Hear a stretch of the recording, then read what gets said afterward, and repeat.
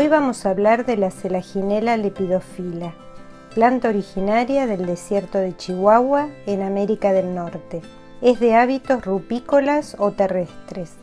Tiene tallos arrocetados y cuando se secan se enrollan hacia adentro. Es una planta poiquilohídrica. No regula su cantidad de agua interna.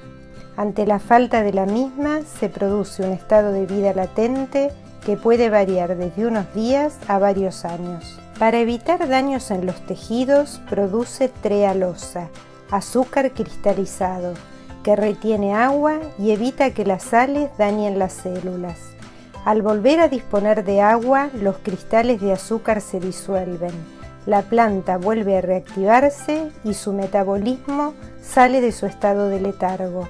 Por eso es común verlas rodar por el desierto hasta llegar a un lugar húmedo. Los tallos se abren y las hojas vuelven a ponerse verdes.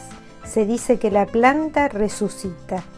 Una vez hidratada la plantamos en una maceta baja porque la altura de la celaginela no supera los 5 centímetros.